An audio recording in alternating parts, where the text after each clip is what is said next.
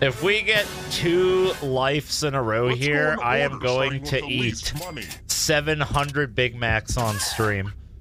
Spin, my lovely. Spin. Very good. You're safe for now. Moving on.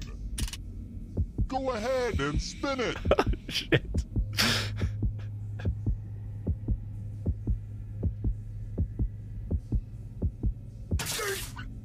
Round and round she goes. Where she stops,